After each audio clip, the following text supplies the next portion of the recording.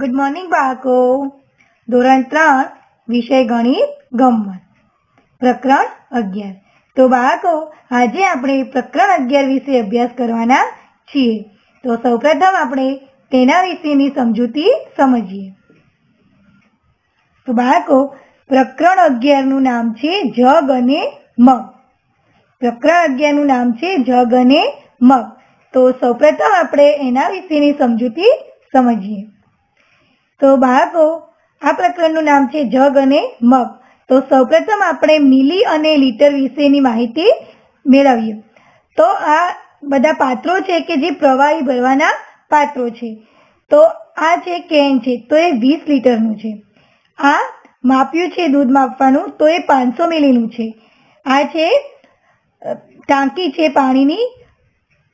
પછી આ છે એ કેરોસીનનું કેન છે કે જે બે હજાર લીટરનું છે અને આ છે પેટ્રોલ, પેટ્રોલની ટાંકી. તો આ રીતે પ્રવાહી ભરવાના આ સાધનો અહીંયા આપેલા છે. તો અહીંયા આમાં દૂધ ભરી શકાય છે, આમાં પાણી ભરી શકાય છે, આમાં કેરોસીન અને આમાં પેટ્રોલ. હવે આગળ જોઈએ તો જુદા જુદા માપના માપિયા. તો એ રીતે મિલી અને લીટરના જુદા જુદા માપના માપિયા પણ જોવા મળે છે. તો દૂધ, પાણી, કેરોસીન પેટ્રોલ, તેલ જેવા પ્રવાહીઓનું માપન લીટરમાં અને મિલીલીટરમાં થાય છે. શું કહ્યું છે? કે દૂધ, પાણી, કેરોસીન, પેટ્રોલ અને તેલ. દૂધ, પાણી, કેરોસીન, પેટ્રોલ અને તેલ જેવા પ્રવાહીનું માપન શેમાં થાય છે? લીટર અને મિલીલીટરમાં થાય છે. હવે આનાથી આગળ જોઈએ તો આ પ્રવાહીઓનું માપન કરવા જુદા જુદા કદના માપિયા જરૂર મુજબ ઉપયોગમાં લેવાય છે. એમ કે એનું માપન જાણવા માટે આપણે જુદા જુદા માપના અથવા તો કદના માપ્યા મુજબ એનો ઉપયોગ કરવામાં આવે છે. તો પ્રવાહીનું કદ માપવાના જુદા જુદા માપના માપ્યા વિશે આપણે જોઈએ. તો આ બધા અલગ અલગ પ્રકારના એટલે કે જુદા જુદા માપના અથવા તો કદના માપ્યા છે. તો સૌપ્રથમ છે એ પાંચસો મિલીનું માપ્યું છે. એના પછી સો મિલીનું માપ્યું, બસો મિલીનું માપ્યું, પાંચસો મિલીનું અને એક હજાર લીટરનું માપ્યું. ફરીથી આપણે જોઈએ તો પચાસ મિલી, સો મિલી, બસો મિલી, પાંચસો મિલી અને એક લીટર. તો આ અલગ અલગ કદના માપ્યા છે. હવે આગળ જોઈએ તો આ પણ માપ્યા છે, પણ અલગ આકારના છે. તો આ સો મિલીનું માપ્યું છે, આ બસો મિલી, આ પાંચસો મિલી અને આ એક લીટર. હવે આગળ જોઈએ તો જે તે માપ દર્શાવતું માપ્યું તેની અંદર તેટલા લીટર કે મિલીલીટર પ્રવાહીને સમાવી શકે છે. એમ કે જે આ માપ્યા આ માપ્યા આપણે જોયા કે સો મિલી છે, બસો મિલી છે, પાંચસો મિલી છે એક હજાર લીટર છે. તો આ એનું માપ દર્શાવે છે. તો એ માપના જેટલું જ પ્રવાહી એની અંદર સમાવી શકાય. જો સો મિલી છે તો સો મિલી નું અથવા આપણે પાણી ભરી શકીએ અથવા તો દૂધ ભરી શકાય. બસો મિલી છે તો બસો મિલી દૂધ આવી શકે એની અંદર. પાંચસો મિલી છે તો પાંચસો મિલી જ આવી શકે અને એક લીટર છે તો એક લીટર જ આવી શકે. હવે જે તે વાસણ વધુમાં વધુ જેટલું પ્રવાહી સમા- સમાવી શકે તે માપને તે વાસણની ગુંજાશ કહે છે. હવે કહે છે કે ગુંજાશ? તો કે ગુંજાશ કોને કહેવાય છે? તો આ જે તે પાત્રો ઉપર આપેલા છે, તો જે તે વાસણ વધુમાં વધુ જેટલું પ્રવાહી પ્રવાહી સમાવી શકે, તેમ આપણે તે વાસણની ગુંજાશ કહે છે એમ કે, એ જેટલું પ્રવાહી સમાવી શકે, તેમ આપણે એ વાસણની આપણે શું કહેવામાં આવે છે? ગુંજાશ. તો ગુંજાશના એકમો છે. તો ગુંજાશના કેટલા એકમો છે? બે. તો ગુંજાશનો મોટો એકમ કયો? લીટર. ગુંજાશનો મોટો એકમ લીટર છે અને ગુંજાસનો નાનો એકમ મિલીલીટર છે. ફરીથી ગુંજાસનો મોટો એકમ લીટર છે જ્યારે ગુંજાસનો નાનો એકમ મિલીલીટર છે. હવે એક લીટર બરાબર કેટલા મિલીલીટર થાય? એક લીટર બરાબર એક હજાર મિલી લીટર એક લીટર બરાબર એક હજાર મિલી લીટર ફરીથી જોઈએ કે ગુંજાસના બે એકમો છે, મોટો લીટર અને નાનો મિલીલીટર. ને એક લીટર બરાબર એક હજાર મિલીલીટર થાય. તો મિલીલીટરને ટૂંકમાં મિલી એમ પણ લખાય અથવા તો બોલાય છે. મિલીલીટરને ટૂંકમાં મિલી લખાય અથવા તો બોલાય છે. હવે આગળ જોઈએ તો દૂધ, ઘી, છાશ, તેલ, પાણી, કોપરેલ જેવા પ્રવાહી ચોક્કસ પોલિથીનની કોથળીઓમાં તથા બોટલમાં મળે છે. બાળકો, તમને ખબર જ હશે કે દૂધની પણ એક પોલિથીન એટલે કે થેલીમાં આવે છે, ઘી પણ આવે છે, છાશ, તેલ, પાણી અને કોપરેલ જેવા આ રીતે આપણે નીચે આપેલા છે કે આવી પોલિથીનની અંદર, આ દૂધની પોલિથીન છે, આમાં છાશ અને આમાં શું છે? તેલ છે. તો આ રીતે, એમ કે બોટલ કે પોલિથીન કોથળીઓમાં પેકિંગ કરીને આ ગુંજાશ છાપેલી હોય છે અને એની ઉપર એની ગુંજાશ છાપેલી હોય છે. તો બાળકો, આ જે સમજૂતી મેં તમને સમજાવી છે, એ તમારે ગણિતની નોટબુકમાં લખવાની રહેશે. તો બાળકો, હવે આપણે પુસ્તક તરફ નજર કરીએ. તો પ્રકરણ અગિયાર, જગ અને મગ. તો અહીંયા બંની સંઘ બન્યું.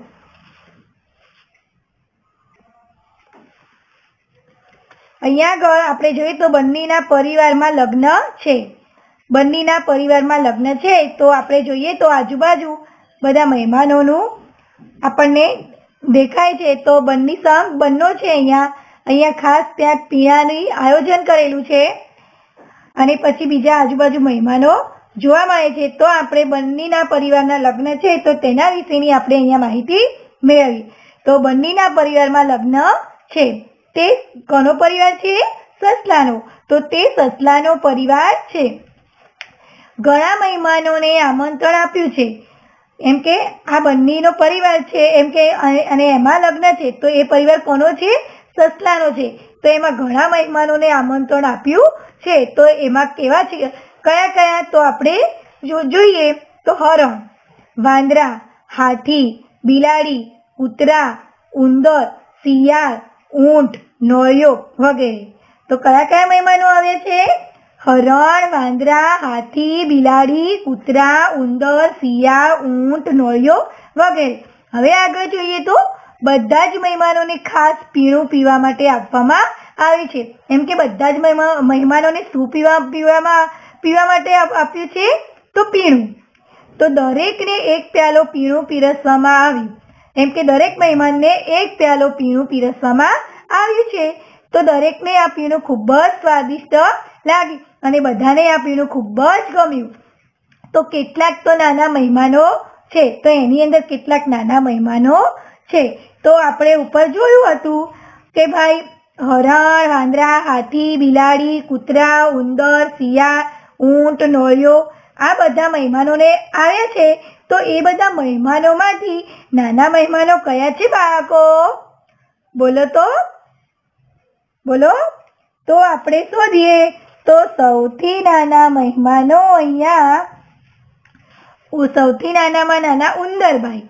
તો અહીંયા આપણે ઉંદર લખીશું. ઉંદર.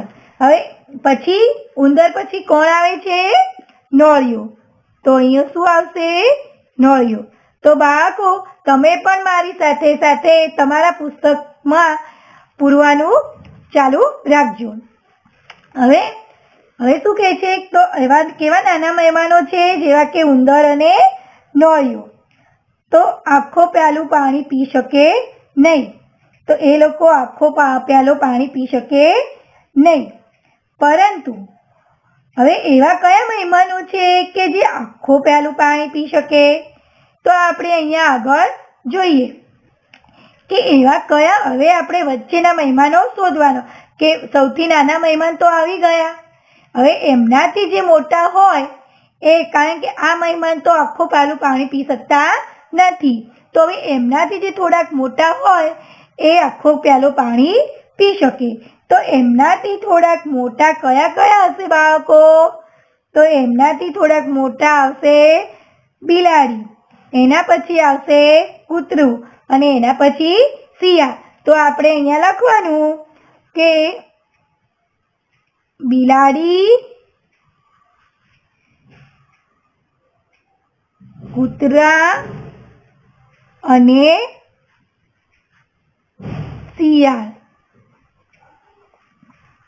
તો બાળકો હું બોલું છું તે પરથી તમે લખી દેજો, કારણ કે અહીંયા જગ્યા નથી, એટલે તમને બરાબર વંચાશે નહીં.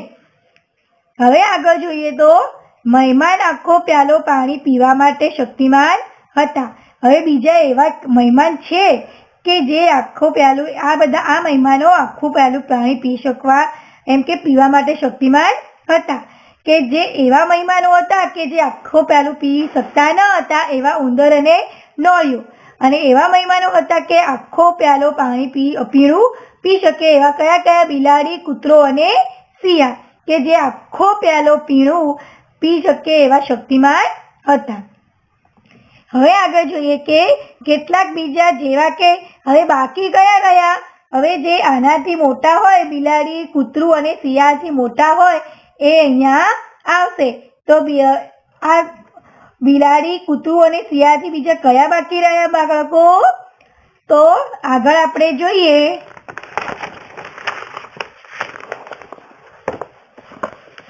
તો એક તો હરણ બાકી રહે છે. એના પછી વાંદરો અને, વાંદરો, હાથી અને ઊન. તો આ ચાર મહેમાનો બાકી રહે છે. તો આપણે અહીંયા લખીએ કે કેટલાક બીજા જેવા કે હરણ. પછી શું આવશે? વાંદરાભાઈ પછી વાંદરા. પછી ઊંટ અને હાથી. એમ કે કેટલાક બીજા જેવા કે હરણ, વાંદરા, ઊંટ અને હાથી એ એક કરતા વધુ પ્યાલાની માંગણી કરી. એમ કે જેને એક પ્યાલો પણ પાણી પી શકતા ન હતા. એ કોણ ઉંદર અને નળિયું જ્યારે એક પ્યાલો પીણું પી શકે એવું કોણ હતું? બિલાડી, કૂતરું અને શિયાળ. જ્યારે એકથી વધારે પીણું પી શકે એવું કોણ? હરણ, વાંદરા, ઊંટ અને હાથી.